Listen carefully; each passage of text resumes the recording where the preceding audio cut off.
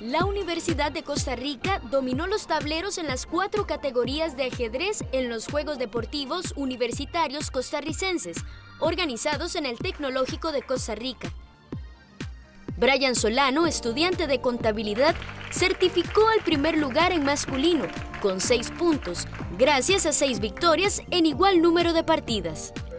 Claro, es un orgullo de poder dejar a la universidad en alto, en una competencia como el ajedrez, que siempre me ha apasionado, así como la estrategia que involucra el juego y también de, tenía de la forma en cómo la gente se conecta a través del ajedrez es muy interesante.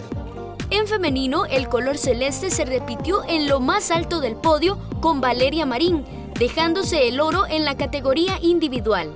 Para mí representa un gran esfuerzo, pero más que un gran esfuerzo, una gran experiencia. Creo que cada torneo de ajedrez en los que participamos, este, uno siempre se lleva un aprendizaje y para mí representa eso. He participado en varios torneos, sin embargo es la primera vez que participo por la universidad. En la clasificación por equipos a la UCR le siguieron la UNED y el Tecnológico de Costa Rica.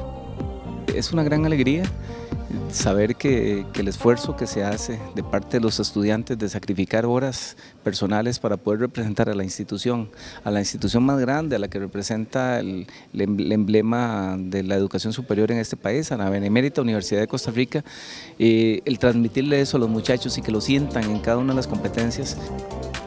La premiación fue realizada el día martes 2 de abril.